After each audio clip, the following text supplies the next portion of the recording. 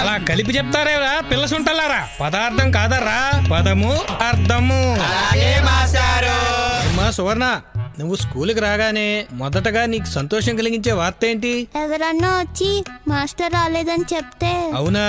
అయితే నీకు ఈ పూటకి ఉపోషణమే. ఇంతకీ ఉపోషణము అంటే ఏంటో తెలుసారా? పదం ప్లస్ అర్థం పదార్థం. అలా కలిపి చెప్తారేరా పిల్ల సుంటలారా పదార్థం కాదర్రా పదము అర్థము. ఇది మీ FM ఇది పదార్థం అలా కలిపి చెప్తారేరా పిల్ల సుంటలారా పదార్థం కాదర్రా పదము అర్థము. ఉపోషణము అంటే పస్తు దీన్నే ఉపవాసము అని కూడా అంటారు. ఇదర్రా ఈరోజు పదం? రేపు ఇంకో కొత్త పదం తెలుసుకుందాం. సరేనా?